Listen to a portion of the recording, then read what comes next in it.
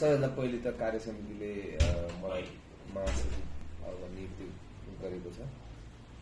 महासचिव महासचिवमा नियुक्ति गरिसके पछाडि म कार्य समिति बैठकमा कार्य समितिले अनुमति दिइसके पछाडि म बैठकमा बसेँ र बैठक एकदमै सौहार्दपूर्ण र एकदमै चाहिँ भविष्यको निम्ति एउटा चाहिँ सुखद सुरुवात भएको छ।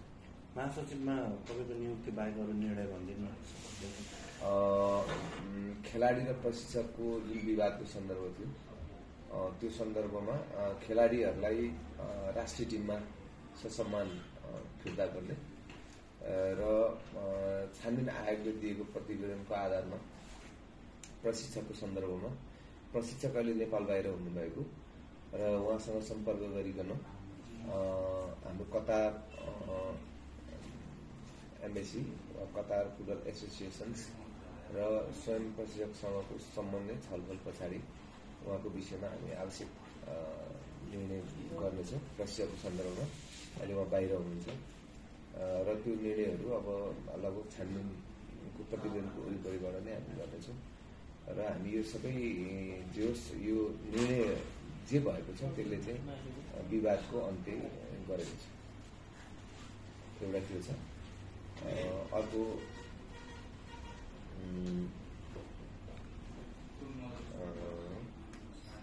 यो सबै हामीले चाहिँ यो प्रदेश खेलकुद विकास बोर्डमा प्रदेश फुटबल सङ्घहरू हाम्रो संरचना बनेकै छ त्यो संरचनाहरूलाई प्रदेश खेलकुद विकास बोर्डमा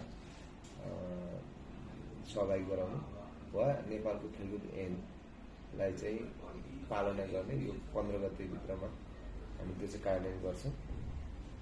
र अब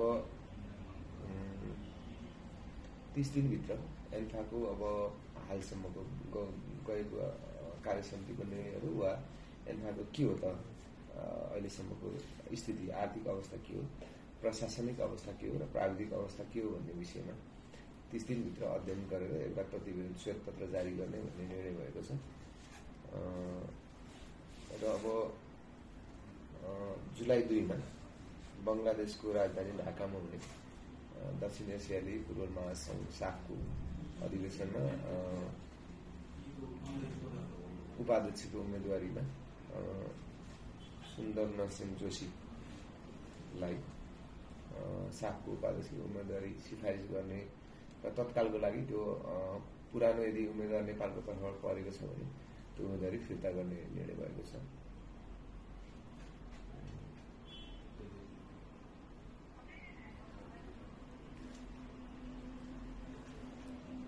लगभग यिनै निर्णयहरू हुन्। र यो खासै अब धेरै कुराहरू छैन अरू केही प्रशासनिक प्रशासनिक कुराहरू छन्। केही चाहिँ रिक्त रहेका कर्मचारीहरूको पदपूर्तिको निम्ति आवश्यक प्रक्रिया अगाडि बढाउने निर्णय गरेको छ। यति नै हो। भाइ एनएसओ अब अघिल्लो कार्य समितिले अन्तिम अन्तिम आएर एनएसओको लागि हजुर एनएसओको लागि? हजुर। अघिल्लो कार्य समितिले अन्तिम आएर निर्णय गरेको छ होइन? डेट दिएको छ। त्यस विषयमा चाहिँ जुन क्लबहरूको विवाद थियो होइन त्यसबारे केही निर्णय यो पहिलो बैठक शपथ ग्रहण पछिको पहिलो बैठक भएकोले त्यो विषयमा छलफल भएको छैन। यो विषयमा गृह कार्य आवश्यक छ। थप गृह कार्यपछि आगामी बैठकबाट वा आगामी छलफलबाट त्यसमा टुङ्गो पुगिन्छ आज त्यो विषयमा छलफल भएको छ। जस्तै कार्य समिति नै पुरा भइरहेको छैन तपाईँहरूको दुईजना चाहिँ बाँकी छ। अ, त्यो दुईजना बाँकीको चाहिँ निर्णयको लागि त विशेष सभा भनेको त्यो त तपाईँको एक एक हिसाबले प्रक्रियाबाट एउटा चुनावमा आउनुभयो त होइन।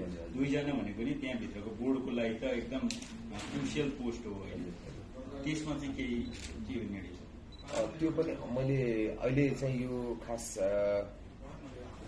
आजको बैठक चाहिँ एउटा चाहिँ प्रारम्भिक बैठक भएको हुँदा अब हामीले विधानमा व्यवस्था भएअनुसार प्रक्रिया पुऱ्याएर बैठक बस्ने आगामी दिन बस्नु नै पर्ने हुन्छ। त्यस कारणले गर्दा अब बजेट लगायत बजेट आगामी कार्यक्रम लगायत अब हामीले चाहिँ गत सालको अडिट रिपोर्टहरू नै पास भएको छैन अडिटहरूकै प्रक्रियाहरू पुरा भएको छैन। त्यस कारणले गर्दा चाँडै हामीले विशेष साधारण सभा बोलाउनु नै पर्नेछ। त्यस कारणले गर्दा त्यो आउने विशेष साधारण सभामा नै त्यो विषयमा चाहिँ निर्वाचनै हुनेछ दुईवटा पदमा। त्यस कारणले गर्दा अब आज चाहिँ खासै केही छलफल भएको छैन तर अब आउने बैठकमा त्यो चिजहरू पनि निस्किन्छ त्यो टिममा पनि दुईवटा छ होइन अहिले छ। टिम व्यवस्थापनमा चाहिँ कतिको सहरको चुनौती चाहिँ के छ? अ, तपाईँहरूको कहाँ- हामी चाहिँ तिन चार धार छ स्वाभाविक रूपमा निर्वाचनमा विभिन्न धारहरू देखा पर्यो विभिन्न व्यक्तिहरूको उम्मेदवारहरू पर्यो तर मैले अनुभूति गरे अनुसार बैठकमा जे प्रस्तुतिहरू मैले देखेँ त्यहाँ कुनै धारदेखि राखिएको थिएन। र सबैको कमिटमेन्ट के थियो भन्दाखेरि हामी निर्वाचनमा एक ढङ्गले प्रतिस्पर्धा गऱ्यौँ तर अब नेपाली फुटबलको निम्ति हामी चाहिँ साझा बनेर जानुपर्छ भन्ने नै सबै पदाधिकारी साथीहरूको कुरा थियो पदाधिकारी जीवहरूको कुरा थियो। त्यस कारणले गर्दा मैले चाहिँ अनेस्टली भन्नुपर्दा त्यो खालको चाहिँ टिम विभाजन त्यो खालको चाहिँ राय बजाउने वा त्यो खालको चाहिँ अस्वस्थता मैले देखिनँ एकदम हार्दिकतापूर्वक र सबै निर्णयहरू चाहिँ सर्वसम्मतिको आधारमा भएको छ। केही छलफलहरू भए तर सबै निर्णयहरू चाहिँ सर्वसम्मत भएको छ। त्यस कारणले गर्दा नेपाली फुटबलमा यो विवाद भन्ने जुन कुरा थियो त्यो चाहिँ भविष्यमा त्यो आउँछ जस्तो मलाई लागेन। किनभने चुनावकै प्रतिस्पर्धाकै कारणले चाहिँ विवाद हुन्छ जस्तो मलाई लागेन। त्यसकारण यो नेपाली फुटबलको लागि शुभ पक्ष हो भन्ने लाग्छ।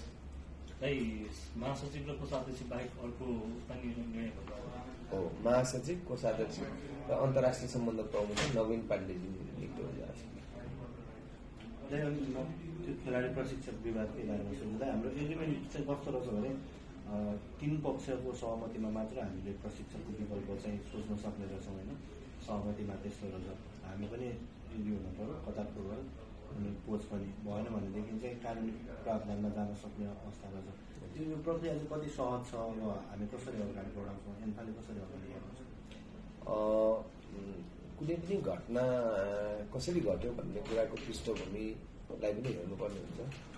त्यसरी हेर्दा सामान्य कुराबाट घटना घटेको देखिन्छ एकदमै सामान्य कुराबाट घटना बढ्दै बढ्दै गएको स्थिति देखिन्छ र तपाईँले जुन एग्रिमेन्टको कुरा भन्नुभयो अब एग्रिमेन्टको कुरा ठिक हो त्यो सबै पक्षले कार्यान्वयन गर्नु नै पर्छ। तर कतिपय सन्दर्भमा फेरि चाहिँ कुनै पक्षले निर्णय गर्नु नसक्ने भन्ने चाहिँ होइन होइन? तर अब हामीले त्यही एग्रिमेन्टको कुरा प्रतिवेदनको कुरा र त्यो घटनाको विषयमा पनि थप नजिकबाट अब यो नयाँ म्यानेजमेन्ट आइसके पछाडि हामीले त्यसलाई फेरि एनालाइसिस गर्ने र त्यो विषयमा कम्तीमा जो जो जो आरोपी भनौँ जो जो विवादित व्यक्तिहरूसँग एकचोटि कुरै नगरी निर्णय लिने कुरा चाहिँ त्यो चाहिँ बेठिक हुन्छ। त्यस कारणले गर्दा उहाँ स्वयं प्रशिक्षकसँग हामी सम्पर्क गर्छौँ उहाँलाई अब नेपाल आउनुहोस् भन्छौँ होइन कुराकानी गर्छौँ।